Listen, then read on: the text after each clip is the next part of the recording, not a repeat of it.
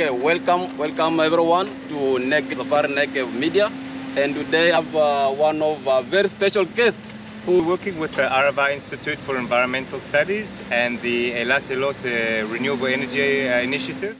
We want to have the experience of what it's like to work in an off-grid situation, you know? In a real situation. in a real situation, real you know. You know, you know maybe Kenya much more than I know Yes, Kenya. You know, uh, I was raised in South Africa, so I had I was fortunate to to see how the people are living, Mm. and you know, and when you spend a little bit of time, you know, living in this in with people, you learn you learn Their their, culture, problems, you learn the, the reality of, yeah. you know, and so so here we made a situation where uh, students, you know, who are coming from everywhere, from from Europe, from America, from Israel, from Kenya, can everybody can come together, that they can share their ideas. But we made a place that to show what To what the situation might look like, just to feel it, you know, Like a model. Mm-hmm. exactly that.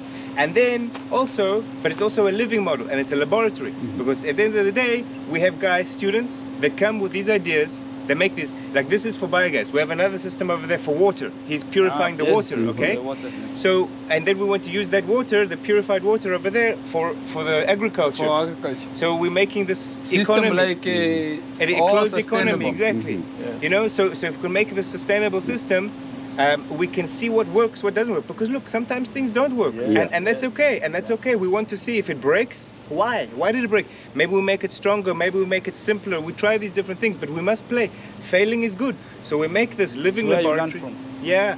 So we can play, we can try, and then every once in a while, we have some superstars. They break through. They they yes, they get it then right the- boom, the market. and then and then from here we use it as the, the, the to show the people to train the people to try to experiment and then from here it goes we we export it to africa so we're working together Yeah. with the with the, the Arava institute Yeah. and the renewable energy administration of Eilat Eilot here we work together and we made another company called Kalot okay.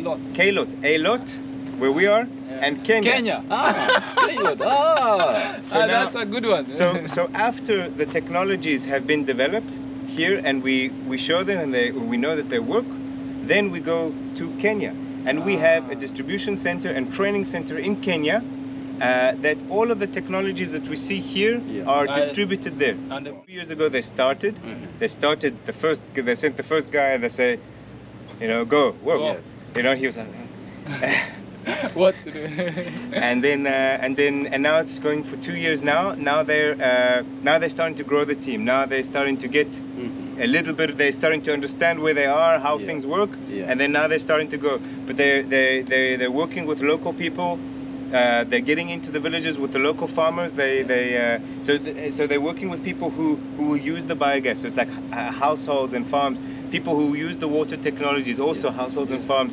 So they're talking with you. Also, they have uh, uh, technologies for milk, for for for for, for milking the cows. the Yeah, cows, yeah, yeah. yeah. Because we understand that it's a big part of the people's income is the Yeah. milk, but also they especially the pastures in Kenya, like they have uh, 200 cows Yeah. and maybe 15 or 20 maybe lactating at the same time. right, right. So, and and also and also they and also we understand that some um, some some uh, some people have like 15 cows or, or 100 cows and and they can't all have one big truck it doesn't so then they make a big co-op cooperations ah, over like there a corporation, So- like a milk circle. We call Yeah. them milk circles. Milk circles. And Uh, this company, this company, when you when you go to Kenya, does it work with um, like the expert? You, do you bring the experts from Israel, or you work with the local expert? Look, now there's we, we will do all of it. At the beginning, we Yeah. start off with uh, with the things that we know, and we go to there. But now we're opening up, and we're trying to understand how can we work more with local people. And I think this is the next stage. Uh-huh. I'm having a meeting